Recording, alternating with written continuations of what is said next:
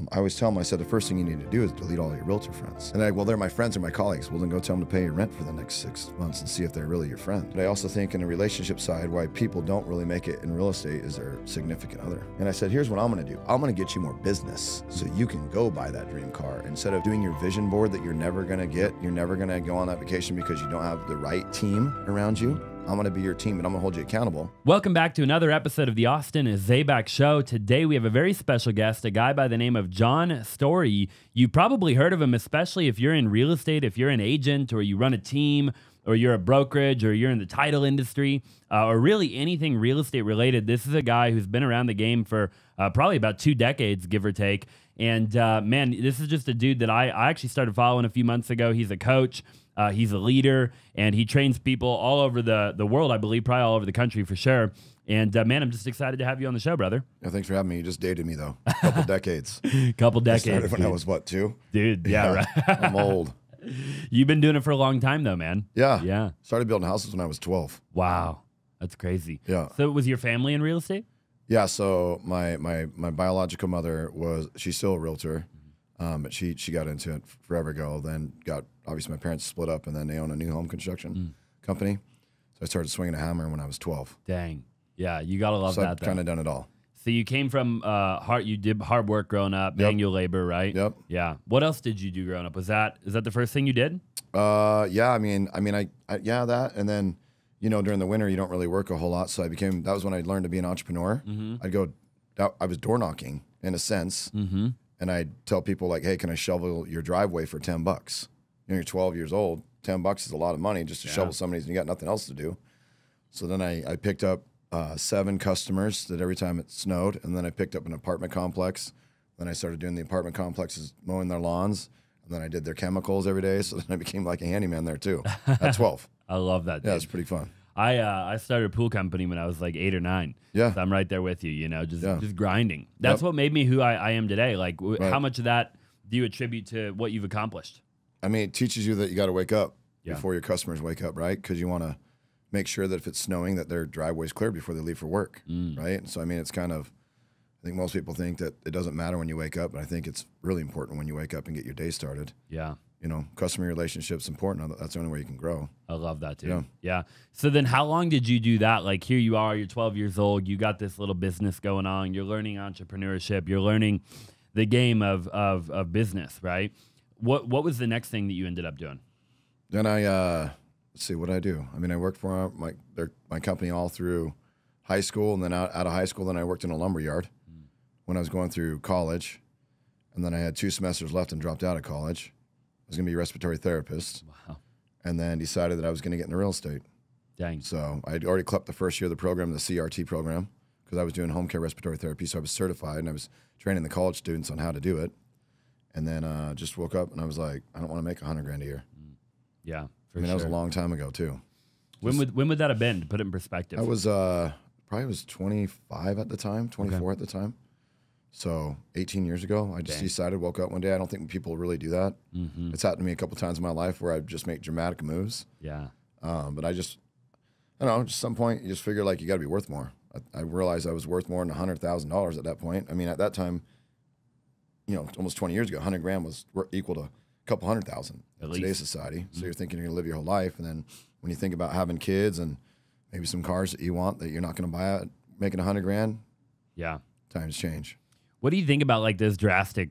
I, I am kind of a guy I can relate to you. You know what I mean? Like yeah. I'm I'm the dude that like I'll just wake up one day and make a huge life decision where like a lot of people will kind of think on things and they'll ponder on things and they'll overanalyze and and you know or analysis paralysis is what they say, right? Like what do you think about that? Like do you think that you have to kind of have that capability to to succeed and be nimble as an entrepreneur or like uh, I think you just have to have a good skill set, man. You have to trust your instincts, and I think there's too many people who are too scared. They take too much advice from the wrong people, and uh, they haven't been where they are. You know, I look at you know good speakers that there are out in the world that are still talking and they're big celebrities and they fill rooms, but I mean not to be an asshole, but you're like sixty something years old, and that's mm not what I want to live. Mm-hmm. And these people like just think they're the God's greatest gift to. I'm like, you're old. Yeah. Like, so what are you teaching me here? You can have all this money in the world, but you still have to work every single day and never enjoy your life. Mm. Like you always have to be on. That's not that's not living a life. And I've been through a lot of shit in my life, so I, I realize that that's, you know, get get to where you're comfortable and then Yeah. retire. I love that. Yeah. No, I mean, and it's true, right? A lot of these people, they they they just grind forever. They never stop grinding, you know. Yep. And um, yeah, you know, I mean, I think that that's definitely not.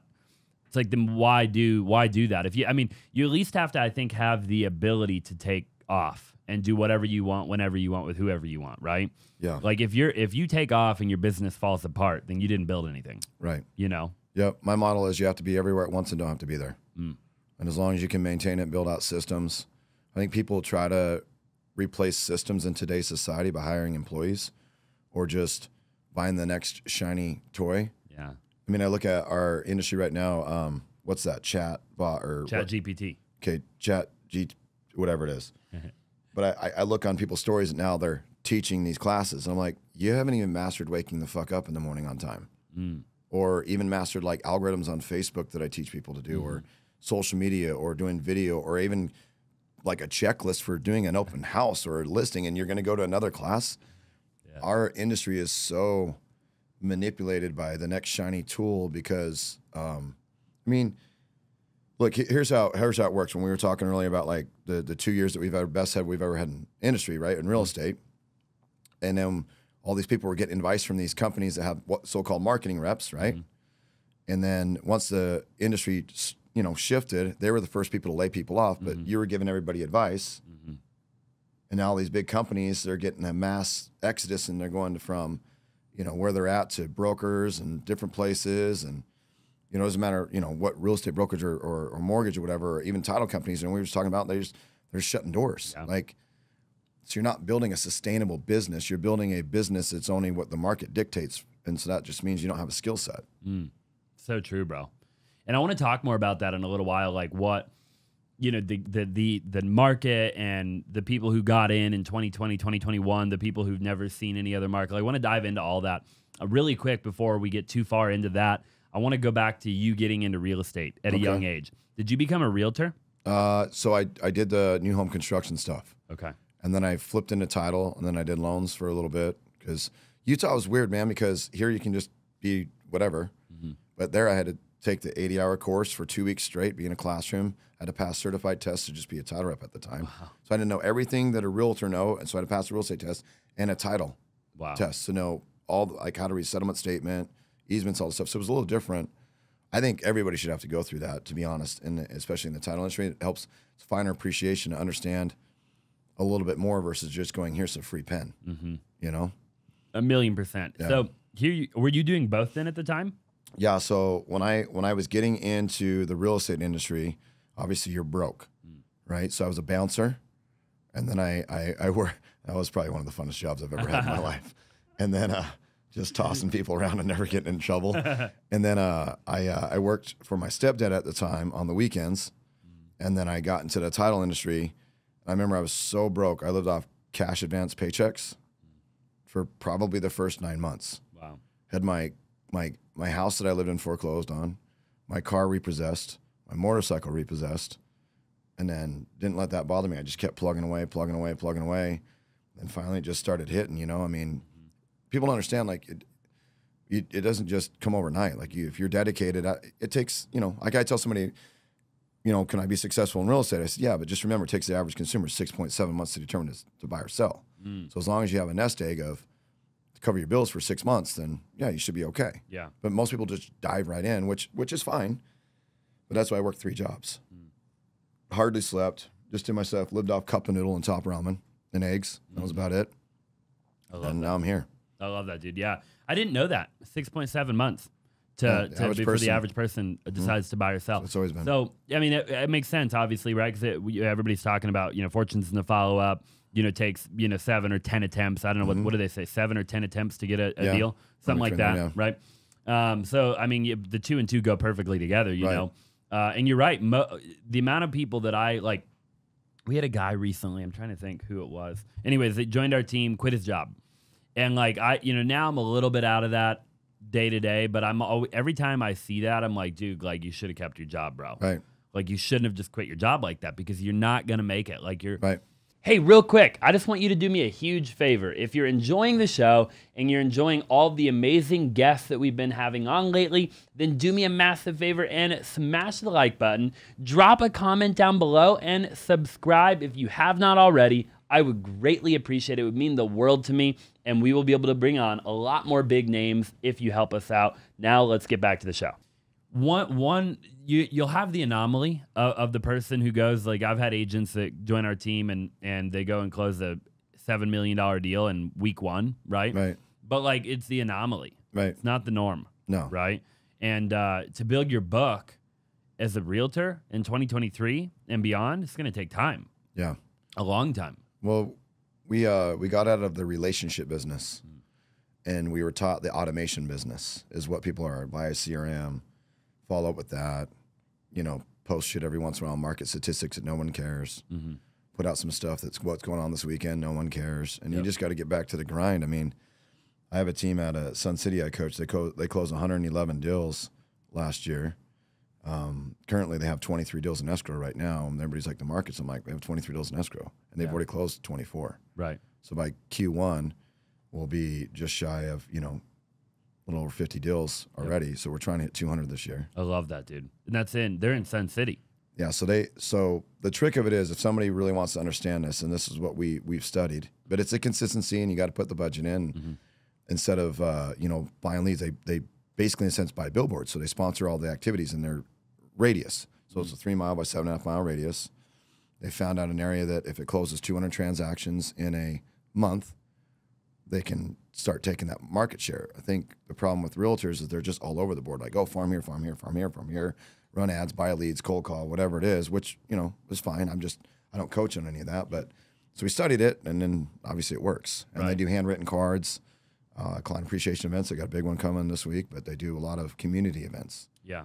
So it's like you kind of be got to be the mayor of your town, and most people aren't. They're too lazy. I always say the more hands you shake, the more money you make. Right. You know, so it's all about like I think people you uh, you said it best. Like I love that. Um, like talk to me a little bit more about that. Like what, you know, what is that? Is that what you would recommend to anybody? Like how do how do how does a realtor or a team go out there and dominate in 2023? Is it what you just described, or is it? Yeah, it's relationships, man. It's uh, people people get advice. So most realtors run their business on their time, right? Which you know, they're sick of working for somebody from the nine to five. I'm gonna run my business however I want.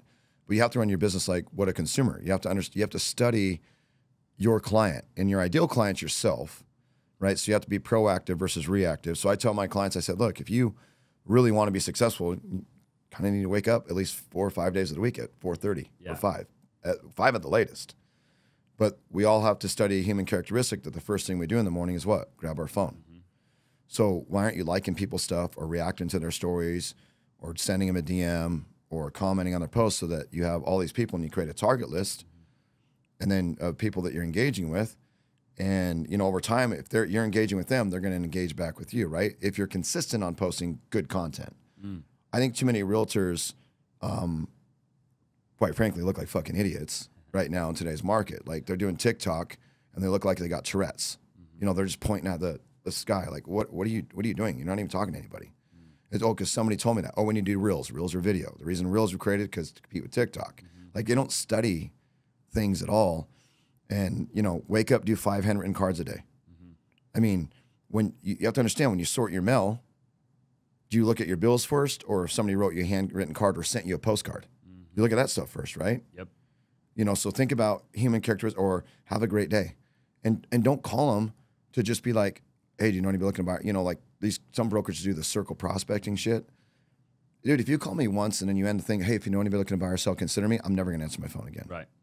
But that's what they're taught. So they're taught really bad mannerisms in a sense, versus just creating a relationship. Going, hey, I like your stuff. You like my stuff. But post content that shows who you are, what you like to do, what you're relatable for. Like, get them to know you in a in a digital world, right? Because mm-hmm. we can't be everywhere at once, but you can be everywhere at once if you post good content. Right and I, they're just taught the wrong things, man. I just see too many social media so-called gurus, but some of them will even reach out and they don't even know how to run a business to yeah. me. They'll ask me questions. I'm like, how are you teaching people stuff? You don't even know how to run a company. Yeah. You know, it's weird to me. They just regurgitate stuff, man. Just, I just say keep it simple. Mm-hmm. Posting's free, stories are free, text messages are free, send out cards are great. My buddy Jordan Adler is the number one guy in send out cards, and uh, I mean people love that. You know, he sent me. I, I did a, a big speaking engagement. And I brought my. I always bring my kids up on stage when I do big ones, and I had a picture with my daughter Savannah, and held, I was holding her, and he sent uh, that with a picture frame to my house, which is now framed and in my office. Wow. So every time I see it, what am I thinking of? Yep.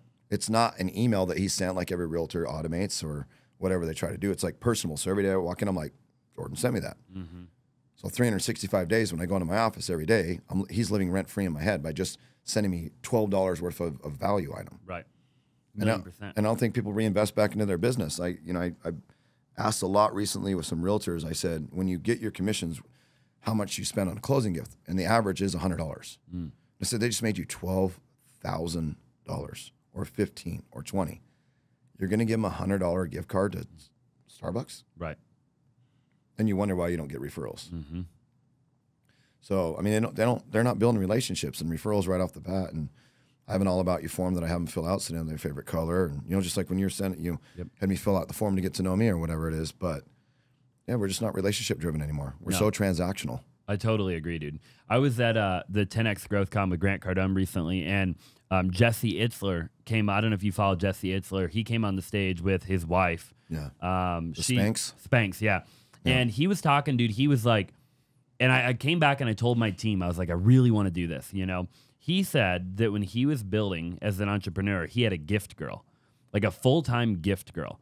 And he's like, I would get her whole job was to buy people gifts. So, like, what that meant is he's like, I would go on a podcast, Jesse, okay? Right. He's like, I would go on somebody else's podcast and I'd leave and I would buy them a gift. Right. He's like, you would think that they would buy me a gift, he, which they wouldn't, but Right. you would think they would. But he's like, instead of all that, he's like, I would get them a gift. Right. And so he'd call his gift girl, hey, I, you know, here's here's the person I'm, I need a, uh, a gift for, Right. and he would tell them just a little bit about that person and give them a budget, and they would go and they would personally curate a custom gift, Right. something that meant something. Like it was it was it wasn't just like you said a gift card, you know. And I thought it was just the world's best idea. I was like, I mean, obviously the gift girl part is if you're on another level, Right. But the, just the idea of gifting, though, in general, like you, a lot of somebody watching or listening can they don't need a gift girl to do that. Right. I mean, Right. yeah, I, I would tell people if you have a phone, which most people do, Mm-hmm. take pictures of the experience of your clients buying the home, Mm. and then go to I think it's Shutterfly and go make a custom book and then give it to them because they're always going to have that. Mm. But I think people, I mean, you know, in real estate, dude, it's you know first quarter everybody's getting their awards from 2022. Do you know how many people's numbers I've pulled that haven't even closed a transaction yet in 2023? Wild. But we're the top 1% though. And that's all they brag about. I sent myself an award and it said, uh, no one cares. No one cares your percentage. No one cares your ranking. Just work harder. Yep. That was my award that I, I presented to myself because I'm employee of the year, you know, because I'm my own employee. Right. So kind of make things easy. I love that, dude. Yeah. Man, you're I like you're you're speaking my language right now. I feel like we can talk about this all day. I want to I want to dive deep into this. Like what are what are what are some more things and recommendations that you have for realtors? You know, like what what are realtors doing wrong? I know that like they're doing social media wrong and they're pointing on TikTok and they're they're doing the freaking statistics like the the what to do this weekend in Phoenix, Arizona. I see Right. the you know what I mean? Like Yeah. go, there's this carnival going on and down Right. they get two like likes Right. on the post like when you go in and you start coaching a team first of all i guess i guess let me back up why why do i mean i get that they're getting taught the wrong crap but do you think that human beings in general are just shy like they're they're becoming introverted like they're They just want to take the lazy, easiest way out. They Mm. want to automate all their shit. You can't automate your business. You can't automate a relationship. I, it's like I, I tell somebody if you're dating somebody, you're like, hey, we've got a date, but you have somebody always fill in for you because that's what you're doing with the CRM and an email. Mm-hmm. It's the same way. Yeah. It's not really building a relationship. The number one thing I tell people on on social media to do is, uh, and it's the dumbest shit ever, is why are you friends with other realtors? Because if you understand algorithms, which I studied it for forever, dude. I've been studying it for. I, I studied when hashtags became live. If you post too many photos in a in a in, you know like Instagram's different from Facebook, obviously. So Facebook's your- Facebook's going to be your hub, and everybody wants to go to Instagram or whatever or TikTok. And all my clients, I get all my business through Facebook. I have mm-hmm. a ton of followers on Instagram and a lot of engagement. But um, I always tell them, I said the first thing you need to do is delete all your realtor friends. And And they're like, well, they're my friends or my colleagues. Well, then go tell them to pay your rent for the next six months and see if they're really your friend. Yeah. And so nobody believed me. And then when I, because I, I used to do these things in, in Arizona that were called boot camps. Mm-hmm. And uh, I wrote 13 course books on how to do it, like in depth, how it worked. And um, nobody would delete them. And so I had one, one, one lady, Carmen Lance, uh, she did it and we, we did an interview. And by year, first year, she went from five. So she was always a $5 million producer. First year, she deleted all the realtors, went from five to 11 Wow. then to 13. And by year three, she was a $20 million producer. And she said the first thing she did was delete realtors because algorithms, if you like other realtors' posts and comment on other realtors, well, who's going to be in your newsfeed? Who's going to mm-hmm. be on your friend suggestion line? Mm-hmm. And then if, you know, you're already looking stuff up online on real estate, so social media is already telling you because that's how that's how Facebook and Zillow got in trouble with each mm-hmm. other. You know that, right? Yeah. They got the slap. Facebook was selling them the Right. leads because they saw people that were looking at it, right? People didn't pay attention to this when they got sued. I think it was in October 2018. That's when Zillow were like, "Oh, you're Premier," and then I told everybody they're going to be your competitor here in Arizona. I got mm. tore up in a forum here in Arizona with all these realtors, and now I'm like. Told you so. I mean, it wasn't so much I told you so. It's just, why would you put reviews on a business page that's not yours? Hmm. It doesn't hmm. make sense to me. Hmm. Like Google My Business, create your own business, or Facebook reviews. Like, and then you give them to Zillow, and they know you're the.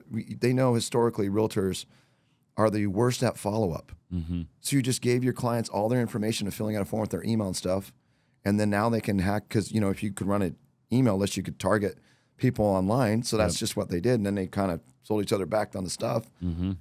and that's how you lose. And realtors, oh, that's not true. And I said, well, then go watch your go watch your interview on my YouTube channel, and Yeah. that'll shut you the fuck up real quick. Right. Because I mean, it's dumb, dude. I see them all the time. Oh my god, great poster. Like, and there's still people that are like, I just can't. I mean, they're my friends. I'm like, they're not your friends. I'm telling you.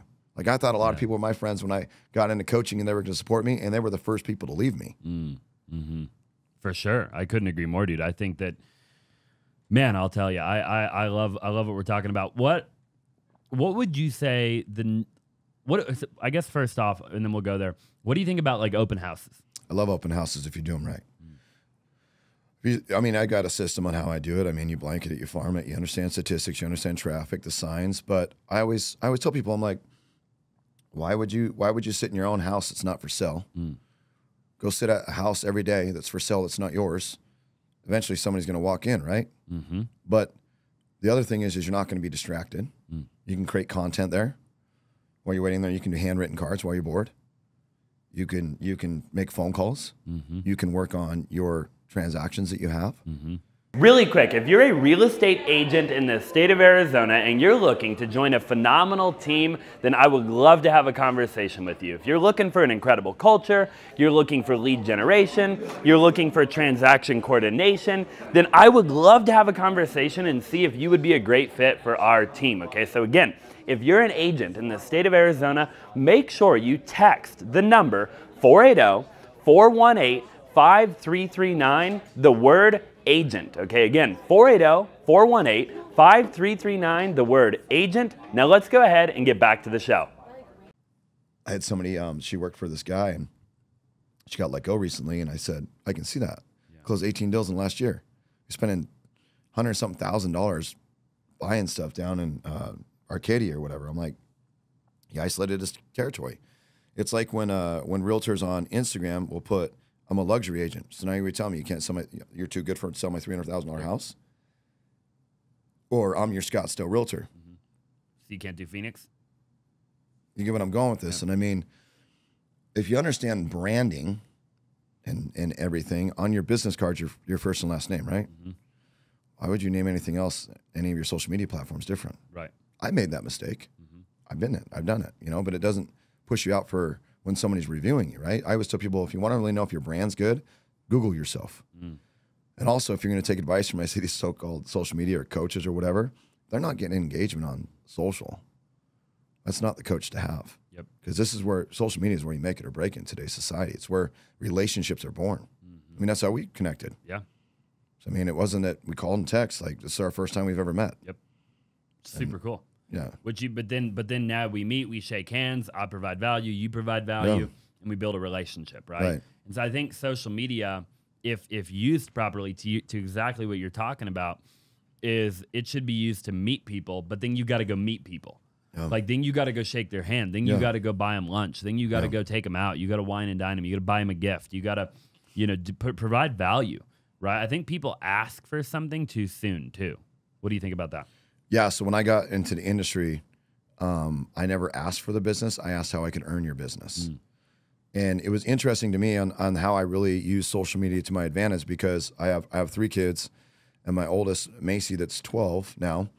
Uh, her, her her mom died a couple years ago, but I've had full custody of her since she was basically 2 I had no family here at the time, and all my friends, when I was going through this legal custody of her, they all took my ex's oh, he was this and that. And then all of a sudden, when I win full custody, they're like, wait a minute. I'm like, yeah. But, you see true character Yeah. people when they, you know, try to pick sides. And I, I would stay neutral anytime anybody argues, but um, unless somebody's just an idiot. But, but yeah, so I, I, I learned that I would go, I was new here in Phoenix. I didn't know any agents. This is when agents were in the office, kind of like Yeah. what you have going on, which I was like, whoa, there's a lot of people here and I would take all their business cards off the wall. And knowing that I'd come back, I'd schedule to where, hey, I'm just going to bring in. I couldn't get in the door with some offices, and I was doing home warranty at the time, so I would just bring pizzas. Mm. And so I would, I would, I would take all their cards, and I make sure that I like started liking their posts for two weeks straight. All the realtors in that office. So when I showed up and they walked in, they were paying attention to what I was doing. So when I walked in, we kind of already formulated a relationship, even though we've never met mm-hmm. and I wasn't posting. You know, I made the mistakes, and, and I look back. I like the memories that you see in, in social, where I was getting like three likes per post on Facebook. Now I get hundreds. Um, but it's uh, it's just interesting that people understand. Like, dude, if you have a target list, you have an agenda, and you're consistently doing it, it's free. Yeah. Like these people that pay people to run ads and do stuff, which I think if you do it correctly, by running you know YouTube sync, you know video, whatever, then it works. But these people are just throwing shit out the wall, thinking it's going to stick, and they're going to get all these deals. Well, you're getting the same leads as everybody else. Right. Like I had one of my clients today. He's like, "Hey, what do you think about this?" I'm like, "I go, Mark, think about this. If you can get this list, do you think anybody else can get this list?" Yeah. And he's like, "Yeah." And I'm like, "Does that make sense?" He goes, "No." And but I said, "But what do you have? You have people that you know that have bought and sold with you, mm-hmm. and they know people you don't know. You just haven't been proactively getting to those people. Mm-hmm. It's like, you know, if you're dating someone or whatever, you're going to go look them up on their profile, right? And you're going to stalk them. You're going to look at their photos. You're going to see who they're friends with. You're going to see what their acquaintances are, what they like to do. But I mean, that's that's a phone book. Yep. People don't use social media as a phone book. They, you know, back in the day when we did cold calling or whatever, we just literally opened up the white pages, mm-hmm. knew their address, knew their first initial, and then if, if it was their full name and last name, and just started calling. But nowadays, people tell you their relationship, what they like to do, if, where they've worked, where they lived, where they went to school. Yep, Hundred percent. You said a little while ago, if you do open houses the right way, you love them. Right. What is the right way to do an open house? Is there? I hear some people talk about like the mega open house. I hear some people Yes, talk yeah. about you know do them only on the weekend, like don't do them during the week. I hear some people talk about. Everybody's Right. got this freaking theory. I agree. Right? I agree. Like, what is your theory, or, or what do you believe? I, I think the the first mistake on open house, and I, we kind of going back. Thank you, bringing us back. But yeah, uh, you're good. Um, they they get too salesy. It's like when you go to a car lot, they're like, "What brings you in here today?" Mm. No, I'm just looking. But so my strategy, as I said, as soon as somebody walks into your open house, compliment them. Mm. Hey, dude, nice shoes. Yeah. Hey, nice shirt. Hey, nice car. It's beautiful outside. Like, take the anxiety down because they already feel anxiety thinking that you're going to try to, Mm-hmm. you know, and then they, you know, sign in. Yeah, that's fine. You can do it. But then, you know, have have some stands up, Yep. have some water, have some swag that they can take, sure refreshments, um, get it branded to you, whatever you're trying to do. But they have to understand people love to give opinions, Mm-hmm. and so you got to figure out like how do I sway them in a way. Like you can have. I always tell people get an open house card that says like curb appeal, paint, you know, whatever to give their opinion, yard, you know, price. What do you think? So you can say, hey, I'm going to give this back to the seller. Yep. What you're doing is you're gathering data of what your potential clientele might have. That if you follow up, going, hey, I know what they want now. And then on a clipboard or on that piece of paper, you're like, hey, let's connect on social. I'd love to be part of you. QR codes are great now. They weren't great way back, you know, years ago, but now, you know, when we had the the pandemic or whatever they want to call it, they uh, they came back to life, right? And just get them to engage with you. Like, stop getting them to fill out a form so that you can text them or video. And I have some clients be like, oh, I video text everybody. I'm like, I I never watch that shit. Mm-hmm. Like, just send me a text. Like, I don't need a phone call. I don't need whatever. Like, If you get their information, send them a handwritten card. Mm-hmm. Like just keep it a relationship. Hey, thank you so much for taking time out of your day. I know time's valuable, but appreciate you sending by open house. And it's thank you for so much for filling out this form. If there's anything I can do for you, please don't hesitate to reach out. Yeah. And instead, they're like, "Oh, are you looking?" Or, I mean, yeah, they're looking. They're at a house, dude. Yeah. Like this is, but that's where they screwed up, right? And there's, sure, you can farm it, and there's certain flyers that might attract things, but I think like a like a flyer that I've learned when I've, I've watched people that there are coaches will talk about making an open house, and their flyers look like shit. Mm. Because when you hold a flyer, your thumb's in the top right hand corner, right? So your call to action should be right there, and it should just say, "Don't hesitate to reach out if you have any questions. Happy to help you." Mm-hmm. And then on the other side, it should be like, "Hey, I'd love to connect with you on social media." Yep. And then now you're giving them a choice. But this is where agents screwed up is that if they don't have what they say handles named correctly or they're private, I realtors that have their shit on private or I have to request to follow you, what are you hiding? Terrible. Terrible. Worst thing you can do. So that's one of the techniques too. It's like, but these people that say they don't open houses, they don't touch base on that. So you have to understand that when a consumer comes to you, you gotta you gotta kill the uh, the anxiety and, and create the calmness by giving them a calmness. It's funny because every time I go see my buddy Pat Hickey, he always says something smart ass to me when I walk in. But you know, just to kill the vibe. You know, what have you been up to? And we sit, we hang out, we go to lunch all the time. But we talked about that. He said he goes, if you take the philosophy of buying a car and treat it like an open house or any real estate deal, you get them in there. So open houses are very similar to selling a car. Very. So you get them. It's it's you know what color. Mm-hmm. They didn't want modern. They didn't want round cabinets, black cabinets. They want a pool, big pool, hot tub.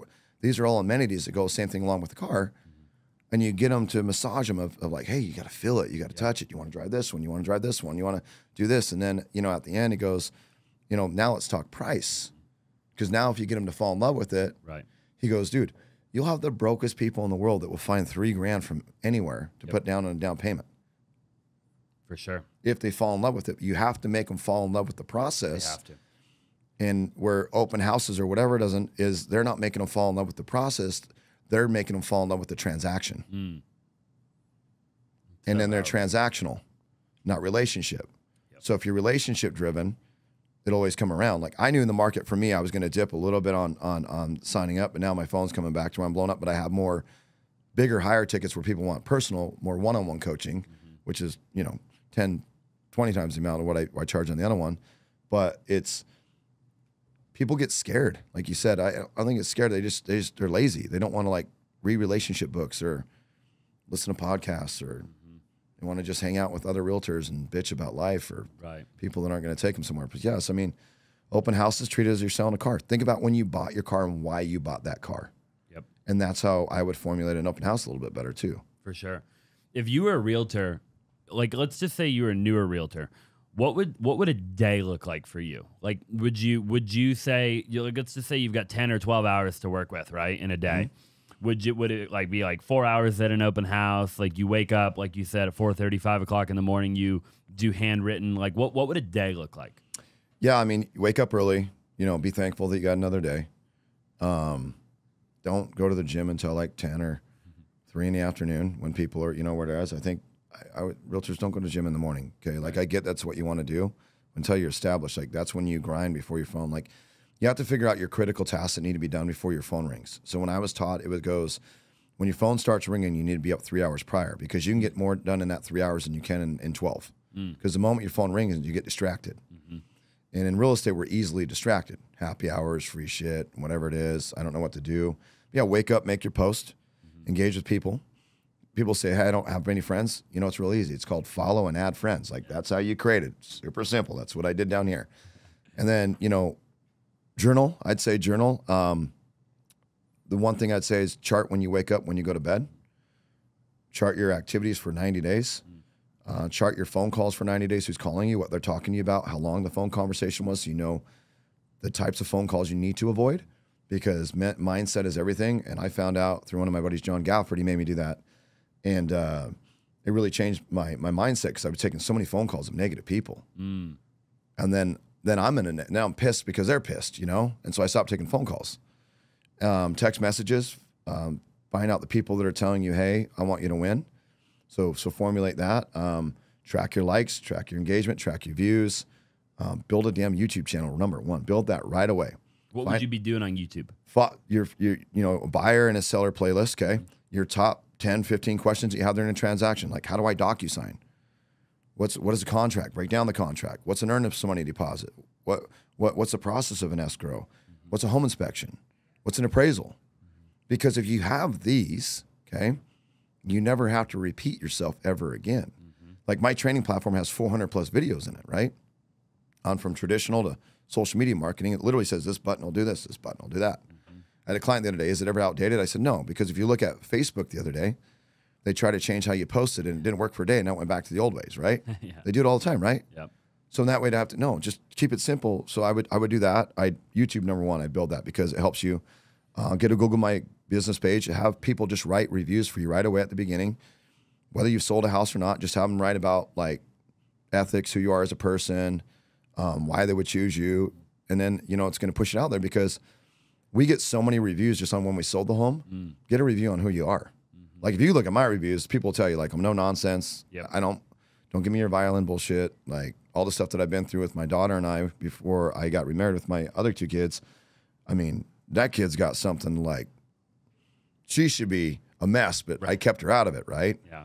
But I mean, it's just yeah. I mean, just keep it simple. But if you track your time mm. and who you give your time to, I think the number one mistake that realtors when they first get in the business is they get so many advice from so many people. Pull their numbers, mm-hmm. but also see how much they work. Because there's a lot of people that'll do 20 million and they're making 200,000 Yep. right? And it's because they automate it. They don't have the systems. They're not building it out. They're not getting through. We don't get three percent anymore. Mm-hmm. That's going to go away. I think it's going to be. I mean, I, I do events all the time. I'm like, tell me why I would pay you twenty grand to sell my house mm-hmm. when I have to wait for you to call me back, Right. and then just study your study your client when they wake up, what they move, because everybody's going to have a different audience, right? But we research things mostly at what time? Night. Mm-hmm. So you need you need content, man. You got to have it out there. You got to not the stupid TikTok shit or whatever that is. Like have good content. Like just talk to people. Like, hey, have a great day. And hey guys, just want to have a great message. All your stuff does not have to be real estate related. It can be what you like to do. A video. It could be. You know, I showed up on my Harley today. I'm leaving right after. I normally trimmed up my beard, but I'm like, and uh, but I'm like, it's cold, you know. but it's uh, It yeah. I mean, day. it's just uh, I mean, it's not rocket science. I just think they get too much advice and they go to, you know, I don't, I don't want to knock on it because I, I started, you know, with my industry and the title, but there's too many. There's there's not. I don't. There's a few good ones, but they give too much advice and all they do is run around. And I'm like, they don't know anything. They cater open houses and they host events and they're paying for your business or joint ventures or MSAs or whatever. That's no value. Yep. I always tell somebody if I'm gonna take advice from somebody, show me your paycheck, mm-hmm. show me how much money you live and the lifestyle you live. Yep. Like I work 40 hours a month building my stuff, so I can hang out with my kids. I could push more, but I'm not gonna get seasons back with my kids. What they're gonna remember is my dad worked all the damn time and never was around. So I mean that's why I, I, I quit the title industry. Yeah. Just walked in one day and quit. My son was three months from being born. Literally quit. I had a big, nice salary at the time and quit. Yeah, for Yeah. sure. You you you said uh, you were talking about three percent going away, right? And and that not being the norm. And I love what you said about I ain't gonna pay you twenty grand to sell my house when I gotta wait for you to call me back, right? Um, what do you think the direction of that is going with with everything going on in the world? and technology like do you, I'm, I'm already obviously as you're, you're seeing you know two and a half percent is very normal now um, it's actually It's when I, keep dropping. yeah when I see three percent I'm like whoa three percent you Right. know like wow you know Right. what where do you think what do you think it looks like in I don't know five or ten years Well, I mean, if you study these people that have been in the industry for a long time, they're dying right now Mm-hmm. because they're not adapting. I told you they it's 2023. We're in the market like where it's 2018, you know, kind of numbers statistically, but they're marketing like it's 2013. they're still buying leads and doing so, which I, I'm not opposed to that, dude. If you don't have it, like I, I get it, but if you have 500 Facebook friends, you have 500 warm leads every day. You just don't do anything with it, right? Yeah. 500 followers, you have 500 friends. I just think the value is not there.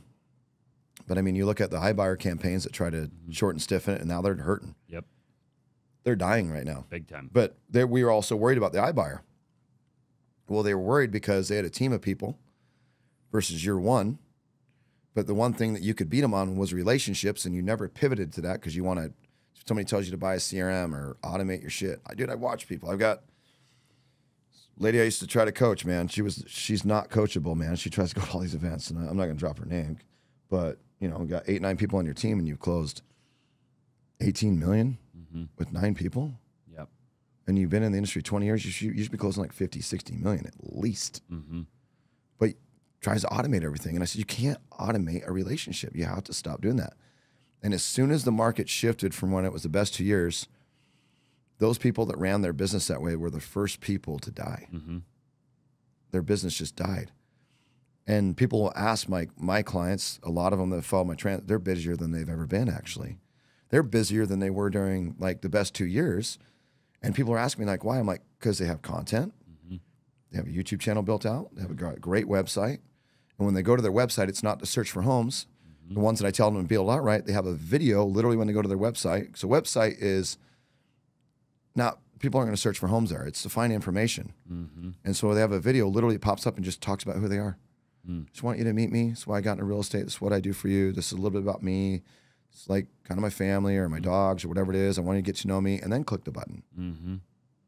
But people don't do that. They just are like, they're thinking they're going to go to your, they're going to fill out this form and give you their email and whatever. They don't do that anymore. It doesn't happen anymore. Like when you check out of a grocery store and they're like, hey, you have a chance to win 10 grand, you know you have a chance to win 10 grand, Right. but you still don't fill out the form. Mm-hmm. People don't want to give you their information because you spam them. Yeah. Shit, dude, I have Van Chevrolet here, and I probably told them 30 times to take me off their calling list. And I know they're GM. I'm going to call them probably today. they call me again. I'm like, I've unsubscribed from their email list 20 times. I'm like, who is running your shit, Mr. Van Tuyl? Like, what is going on over there? but um, yeah, man, it's just, just got to get back to the basics, man. Yeah. The old school with a little bit of traditional and a little bit of social media and learn that social is to be socially engaging with people, not socially selling someone. Yeah. And realtors use it to just sell their shit. Mm-hmm. I don't. I put myself in my stories. I don't make posts about sign up for my coaching. I use my stories. So you have to understand the balance of where you put stuff. What do you think about the brokerage model and the team model? We're seeing so much change right now um, in that world. I feel like right, and and the the big the reels and the I, you know, I'm with EXP now. Uh, I was with my home group for six or seven years. Then I I moved. Right. Um, but the brokerage model and the team model, like, what do you what do you think the future is of that? I've I've heard different different things. I mean, people switch brokerages because they think that there's going to be a shiny tool there that's going to, the brokerage isn't going to create your success. You create your success. Mm-hmm. I think you have to find a team if you want to go on a team that fits your mantra of like who you are and culture and fun and, you know. But I see a lot of teams, man. I saw some teams the other day. I'm like, everything they're doing, like, oh, we have fun team activities. I'm like, but none of you are selling homes You're not making any money. like you have these people coming in that are talking about that they were at Inman that are going to talk about the same shit. Like, how many market reports can you go to that are going to tell you the market? Like, dude, we get it. But in any market, people buy and sell homes. I had somebody tell me, it's like, I can't remember who said it, but it said, even in a tornado, a turkey can fly. Yeah. Even in a tornado, a turkey can fly. And people say, oh, that's, uh, you know, it's hard where we're at right now. I'm like, it's not hard. You just made it hard mm. because you didn't want to do critical tasks. So all the things that you neglected because you were so busy are now coming to haunt you.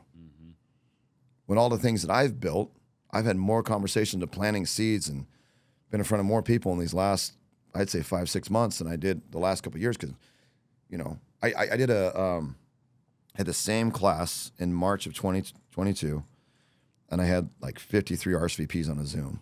I did the same class 90 days ago and had 179 RSVPs. Wow. And marketed it out the same way because that just shows you that three times of agents are scared. My classes are booked up. It's funny. My, my wife just became a title rep to do that. She's she just got in the industry, and I told her I'm like you just you still got about 90 days or so to really learn some stuff. Yeah. I said, obviously, with your husband being who he is, people are already sending their deals, you know, because they want time. But um, she's realizing it's it's harder than you know. She gets it, Yep. and I think you need to be relatable. And I'm not coddling her. Mm-hmm. I've made some phone calls to help her out, you know, but I I don't coddle her. I said, look, when you have the skill set built and you're good in 90, 100 toys, I'll start going around with you and I'll help you a little bit more and I'll close people for you. I'll help you. I'll show you. And then you're gonna go do it. I'm gonna sit there and I'm gonna watch. Yep. I think that for the team model, and that is the same philosophy to fix that. I think they need a mentor. They need to they need to be an apprentice for a while. Mm-hmm. I think people just get in this and they They're trying to replace their sixty thousand dollars that they made a year, or seventy or eighty, and I could sell five homes and I'm done. I mean, that's their mentality. Yep. That's why the average agent what closes five deals in a year. I didn't even think it was that high. I, I think it's about five. Is it? Okay. Yeah, four to five. Um, so they're just replacing their income, but they don't have to work for anybody. Like, oh, I'm an entrepreneur. You're not an entrepreneur when you're not. You know what I'm saying? Yep. But um, I, I, I mean, it's it's kind of like a double-edged sword. I mean, I don't think where the brokerage. I think splits are important.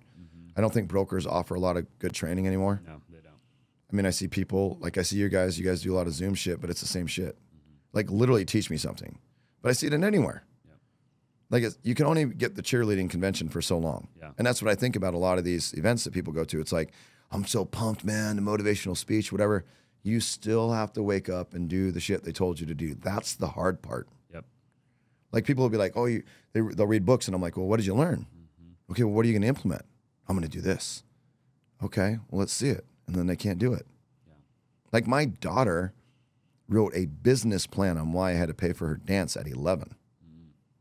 and most people don't even have a business plan. So the other thing for new agents, I would tell them this: write daily, weekly, and monthly goals. Mm. No longer than that when you first get in the business, because everybody's going to tell you, "Oh, you want to close five, 10 million, whatever it is." And if you track those daily, weekly, and monthly goals, you can't be beat. Yeah, I love that. People join teams and they all well, re- I guess really any are the people who get into real estate like agents. You know, they're they're so focused on what's the split. I hate that, bro. I hate that more than anything in the world. With, I'm I'm at a point where if somebody sits down in my conference room, and they and the first thing out of their mouth is what's the split, I'm like, dude, there's the door right there, bro. Like I Brian North called me the other day, and uh, Brian North um, he referred me a guy by the name of Clayton. Um, and anyways, I guess I'll just say it live. But Clayton's uh, from The Bachelor, and he just joined our team, and he's a real good dude. Um, but Brian calls me, and he t- his advice to Clayton was, dude, when you when you sit down with a team leader or broker, instead of asking that question, ask what the value is in exchange 100%. for this split, Right. not what's the freaking split, bro. Right. Because and what irritates me, I think about it is that they're concerned about this this this percentage, and really, it's like okay, if you were going to be able to, let's just say, make eighty grand a year on your Mm-hmm. own, right? But now you come to my team, and it's a freaking 90-10. 90 me, 10 you. But I get you to make 200 grand a year. Doesn't matter what the split is. they don't. They don't see that. I, I just made you double the amount of money you were going to make solo, right? So I think like what what would you have to say to that? Well, I mean, I see a lot of people that and teams are getting ruined right now in a sense because there's too many people that did the five to ten million that are now mm. sucking on the vine of those people, mm. and they oh we're gonna bring like eight people on our team, mm-hmm. but they don't really even know what they're doing. They don't even have their systems. They don't have the con. They don't all the things that I talk about. You need first when I like mm-hmm. you know first agent. They don't even have it, and they just get so smoked in mirrors, going oh I want to make 150 grand. I want to mm-hmm. make 200 grand, and I don't think it's. I always tell people on my teams. I say look quality over quantity. Mm-hmm. But I say before you hire someone, this is the best advice I can give to anybody. Have them write out what their job description is, mm. because that's what they're going to commit to when they join you. Mm-hmm. The problem I see with teams or brokerages, they tell you what you're going to do for them. Mm-hmm. You, if you find out, collect data of like they might be good at certain things, you can find out what they're not good at. Like, hey, you're good at social, you're good at this, you're good at whatever. Everybody always says I'm so good at social, whatever. But hey, will you film video? Will you do this? Okay. Well, then you find out like that common ground of going, okay, thank you for filling this out. Mm-hmm. Here's the value my team's going to bring you. Yeah. Okay, I see you're not good at video. I see you're not good at this. Hey, we've got staging. Hey, you want to, we got this. Hey, we got this. Hey, we got we got a TC. Hey, we got, you're not good at paperwork. We got a paperwork. What you're good at showing homes. You're good at open houses. Awesome. We have listings, so we're going to be compatible. And then you get these team hoppers because the teams don't structure their business that mm-hmm. way. They're just they're just trying to get people under them to make money. Yeah. It's like it's it you know it's no difference in EXP. It's like a downline form in a sense. It doesn't matter where you're at. Yep. They're just trying to do now. The team lead's trying to do less work to make mm-hmm. money off them because they're like, oh, I'm going to give them one night leads, or I did, like I said, the same chick. She's like, oh, I I'm going to do these things, and I'm gonna I'm gonna give them all these leads and have all these leads. I'm like, you don't even make the calls. So the other thing that I would tell the difference of the, of the teams is like, if you're going to tell somebody to do it, you better be doing that shit every day. Mm-hmm. Don't be a dictator. Yep. Don't be a team lead. And I and I tell people, they don't work for you. You guys work together Yep. because they're doing something that you don't want to do. you've been there, you've done that, so you know how to make the mistakes. Just like me, it's trial and error. Like I've learned through the things of, mm-hmm. you know, that's like you said, a great question on the teams. I would say, what I say today, what I said three, four years ago, no. Mm-hmm. I'd say, yeah, get 30 people on your, then, you know, 10 are producing, you got 20, then you know, you just cycle it. And then I'm like, now I'm like, sometimes three is more than better than 30. For sure. Three's probably a whole hell of a lot more profitable too. Uh, yeah, because time, time into people. And people don't understand that. Like, yeah, it's just like how much time you committed to, you know, whatever it is. And um, my buddy uh, Andy Haybaka, they they own the big air conditioning around here, and uh, his dad's like no bullshit dude. It's pretty funny. He tells me the story. He goes, when they go to hire someone and they're going to drive around their trucks, right? In the interview, they walk out to the person's car to see how clean it is. In the interview. Yeah, they're like, because if their car looks like a complete shit bomb, he's like, so are you going to treat our vehicles that we pay for like this? Mm. Wow. Like, pay attention to how people take care of themselves, you know, and stuff like mm-hmm. that. Because there's always the smoke and mirrors where, you know, the people you could go, you go, you know, somebody could dress to the nines and you go to their house and it looks like a bomb went off. Right. Remember when I did home care respiratory therapy? I, I went, I would go to some nice million dollar homes and I was like, I, I mean, I, there was sometimes I couldn't even go in the house. Wow. It was so bad. Wild, bro. Yeah, it's just yeah, I mean just teams and brokerages, I they just have to have the work ethic. But the mm-hmm. job description thing has really helped my clients a lot. Be like, hey, before we just just send me send me what you think your job description is going to be, and then you know instead of. But I think we just dictate too much of like, go do this, go do this, go do this, go do this, instead of finding out like, hey, these three people are going to be a good team together. You guys stay together. You three over here, mm-hmm. and you three right here because you guys kind of all filled out the same form. So you guys are going to work well together. And then after 30 days, we're going to swap one to the other. Mm-hmm. And then now you're going to help the skill set and it just flows. Yep. Because you got to, when people first start on a team, you have to make them comfortable. And if they're around people that are like minded like them, they're going to be better comfortable. Then you got to take them out of their comfort zone a little bit. So then that's that's how I would do it. Yeah, for sure. No, I think you have to do. I think a lot of team leaders just built teams the wrong way. I think that's part of the problem too, right? You said it best, but um, and then it puts a bad taste in in people's mouth, and that that that's a problem, right? Because then what happens is is I have an agent that'll walk in here, and they think that I run my team the way that the team the way that the team leader ran the team that they just came from. Right. And I'm like, and they're they're telling me about the way that guy ran it, and I'm like, dude, I don't run my thing anything like what you're talking about. So I but would now never hire somebody me, that right? Mm. I'd never hire somebody that way. It's like relationships. Mm-hmm. Like if you break up with somebody and then you go on another date, and you're talking bad. Well, the first thing we do is like, oh, it didn't work because this, this, this, and you know whatever. Okay, but what wasn't there? Was there anything good about it? Like, Mm-hmm. because you guys, you know, it's like people break up. You know, social media. One day they're in love, and the next day all the photos are removed, and Mm-hmm. oh, he's an asshole, or she's an asshole, or he cheated on me, or did whatever. Well, I mean, you kind of thought you were the king shit. Why did he cheat on you? Why did he leave you? Why didn't he go oh, do the extra mile? Why isn't he doing the notes? Why isn't he? and People don't look at that that way. We're in such a sculpted society that like by 18 you're going to be an adult 21 you can drink 62 to 65 you can retire. Your your nine to five is going to dictate the house you live in and the cars that you buy and, and the travel that you can do and what your kids can afford and how they're going to be. Why don't you just change the mold a little bit mm-hmm. and be your own self and find your own niche and stop going to a team? Well i think a lot of teams overpromise and underdeliver because they're like oh we got these we're going to cold call we're going to do all these things we got all these things i think it's good for people to learn a skill set to be on the phone. I do. But they also need to learn to open houses in the in the trenches and the contractual work and understanding people and, and handwritten you know handwritten cards go a long ways and just mm-hmm. but i mean yeah i mean and I, plus i'd research their social too. Mm-hmm. You know i'm a no bullshit. I say i say whatever i want but I, but i've earned that too. Yeah, I'm I'm kind of right there with you, dude. I think like we've got. You saw my office. Today's a light day. You know, Yeah. we'll walk out there. There'll be more people. I guarantee you out there when we walk out Right. than when you walked in. You know, right and um, dude, it's just uh, we just we we do what we say we're gonna do. I'm I, I'm on social. I post on social media ten times a day, every day of my life. You know, I Yeah. tell everybody else to do that. We have Yeah. some of the best people in the game. We're one of the biggest wholesalers in the nation. You Right. know, on the retail side, we have 45 agents, and you know, right and I don't think we're and and I think where where we succeed is I think I'm a nobody. Every morning I wake up, bro. I, I think I haven't done anything. I've got to grind. Like today, we're gonna make a video. I haven't even told Jacob yet, but I'm gonna go cold call agent. I was doing it last night at like eight o'clock at night here with my partners, but I was cold calling agents on the MLS. You know, looking for investment properties, right? And I'm gonna go do that, and I'm gonna film myself doing it, right and then I'm gonna post it on YouTube, and then I'm gonna send it to my whole team. let me ask you a question though when do you turn it off? That's the problem right now. I don't, but I'm young. How old are I'm you? 27. I'm 42. Yeah. And my my daughter, I talk a little bit about my daughter. I was like talking about bring her up in the podcast. Talk about her. Yeah. So she's 12. She's amazing. And I got I got my daughter Savannah, my son Colby. He, he's my stud. He's he's a funny fucking kid, dude. That kid. He's a he's four. he's four. Okay, yeah. He's he's hilarious. But my daughter, you know, her mom was a good mom, dude. She you know until she got into the drugs and alcohol. Mm. Then she became a prostitute and almost drowned in the pool with my kid. And you know, she has an older brother and sister, like half brother and sister that I you know they they live here, but they don't come see her. So hopefully they listen to this podcast. I mean, you got a car, you can drive, right? Mm-hmm. But I sculpt my life around my daughter because she went through a lot and does not complain. Mm. And I think society, we just complain about everything.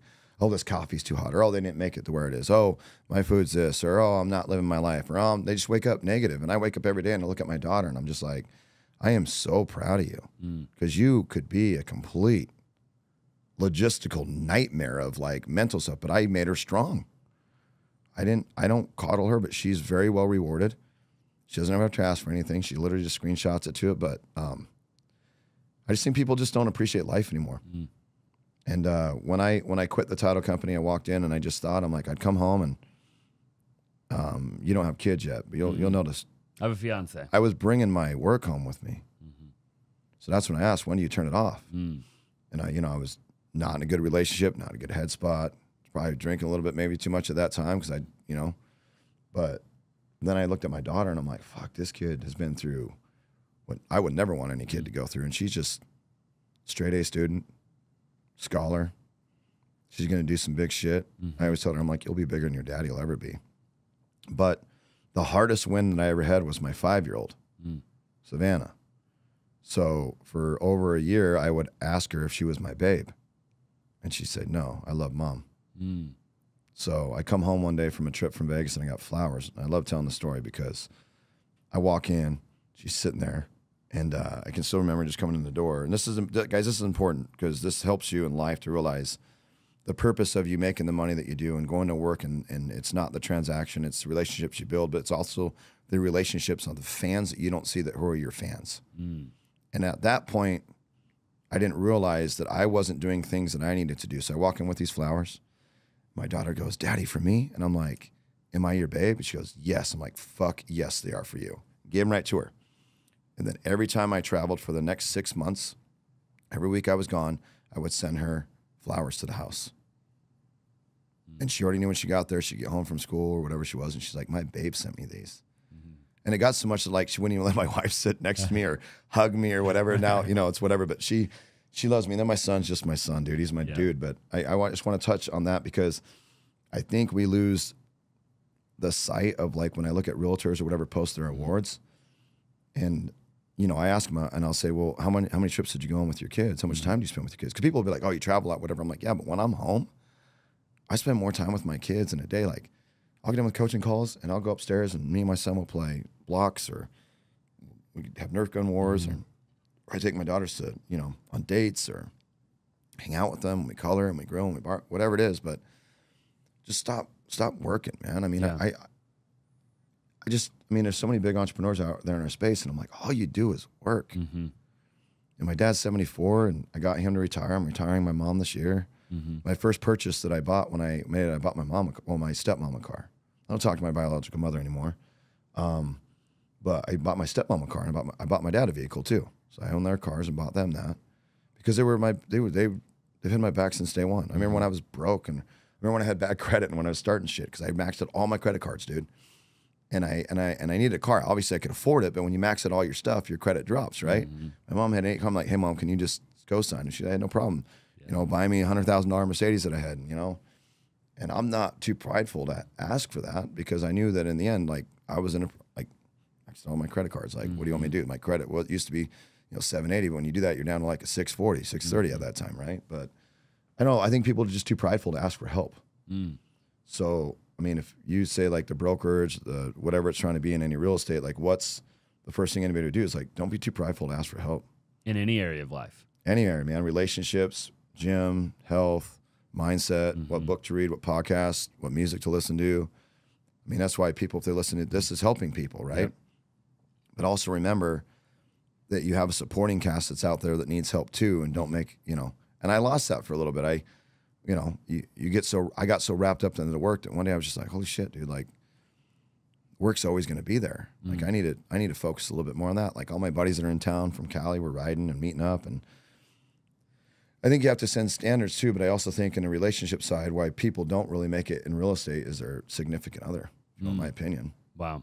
It's I, I couldn't agree more. I think I think a lot of people got some shitty people that they're dating or they're married to, bro. If you want to understand, you want to th- the number one reason why people fail. Like if you are married to somebody and they want you to win, dude, they they should like help you get up if you can't get up. Like I, I had a, one of my clients said it. He's like, oh, I told my wife I need to do this, and I brought my wife over. I said, hey, have you ever had to get me out of bed? Mm-hmm. No. You ever told me to go to work? No.